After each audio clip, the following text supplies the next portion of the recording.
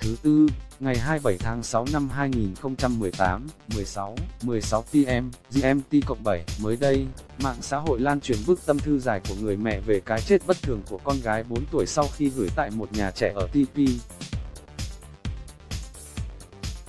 Nha Trang, Khánh Hòa, kèm theo đó là một số hình ảnh và clip.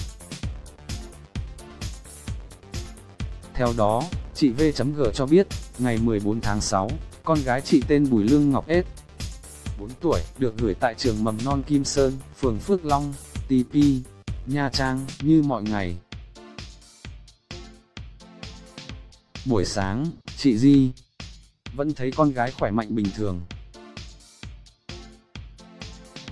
Đến trưa, khi chuẩn bị đi ngủ bé vẫn nằm chơi, lăn qua lăn lại đùa với bạn bè. Sau đó bé ị đùn và được cô giáo đưa vào nhà vệ sinh để tắm rửa. Đoạn chia sẻ trên mạng của người mẹ được nhiều người chú ý 5 phút sau, bé ết. Bước ra từ nhà vệ sinh và có biểu hiện chóng mặt, chân không đứng vững, té ngã và tử vong khi được đưa đến bệnh viện cấp cứu. Khi vụ việc xảy ra, người mẹ đặt ra nghi vấn con gái mình không bệnh tật nhưng tại sao lại tử vong đột ngột như vậy. Chị chia sẻ, khi con từ nhà vệ sinh bước ra, sắc mặt thất thểu, chân đi không vững, chân trái trụ đi, chân phải lết theo bài bài muốn quỳ xuống. Vậy thử hỏi, các cô đã làm gì con tôi? Vệ sinh cho con tôi như thế nào mà sau 5 phút vào nhà vệ sinh, con tôi trở ra trong bộ dạng thảm hại như thế? Sau khi đăng tải, bức tâm thư của người mẹ đã thu hút sự chú ý của dư luận với hàng nghìn lượt chia sẻ và lời bình luận. Ai cũng đặt ra câu hỏi nghi vấn về cái chết bất thường của bé gái 4 tuổi.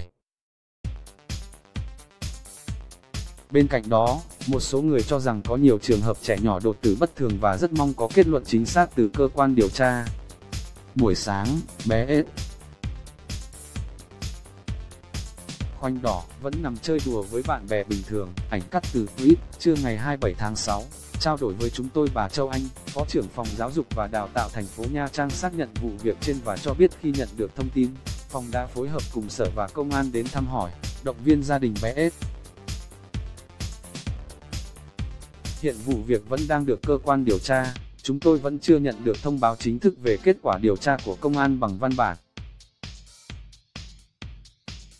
Nhưng theo thông tin sơ bộ chúng tôi nắm được, bé S tử vong là do bệnh lý, bà Châu Anh nói. Trong lúc ngủ, bé ị đùn và được bảo mẫu đưa vào nhà vệ sinh, ảnh cắt từ clip, cũng theo bà Châu Anh, trường. Mầm non Kim Sơn chưa bao giờ xảy ra sự việc nào liên quan đến công tác giữ trẻ khiến phụ huynh phiền lòng. Đặc biệt, cô bảo mẫu là người có chuyên môn tốt, riêng bé S.